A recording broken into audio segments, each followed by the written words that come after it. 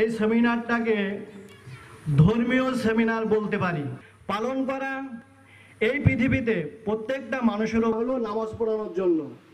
সে ভদ্রলোক মদ খাওয়া তখন আল্লাহ তাআলা কোরআনে কালিমের ভিতরে এখানে আমরা বলি একজন মানুষের শরীরে যদি অনেক সম্মানীয় ব্যক্তিরা সময় মতো এসে কিন্তু দেখা যাচ্ছে নাশক একটি বছরে ব্যবহার হচ্ছে দুই লক্ষ বাইশ হাজার পারবে না। তারা যদি পাঁচ ছয় যারা নাকি নেশা করবে তারা মরণ ব্যাধি বিশ্ব স্বাস্থ্য সংস্থা বল- আল্লাহ তাআলার আইন কানুন মেনে চলবে না। এই মাদক মুক্ত থেকে বিরত রাখার জন্য আমরা সকলে চেষ্টা করি। মুক্ত সবজি। স্যারের সঙ্গে আমার ফোনে কথা হচ্ছিল। বলল যে ভাই দেখো আমার থেকে তেলাওয়াত করার বাইরেও অনেক গুরুত্বপূর্ণ কথা বলেছেন তাকে ধন্যবাদ। ইসলাম আজকের এই অনুষ্ঠানের বিশেষ অতিথি হিসাবে উপস্থিত আছে নাই।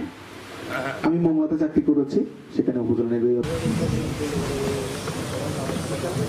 শুরুতে দুধসর ডিজিটাল স্কুল বা ডিজিটাল হওয়ার কারণেই আমাদের সকলেরই কথা একটু সংক্ষিপ্ত করতে হবে। এই অনুষ্ঠানের সম্মানিত সভাপতি অত্র এলাকার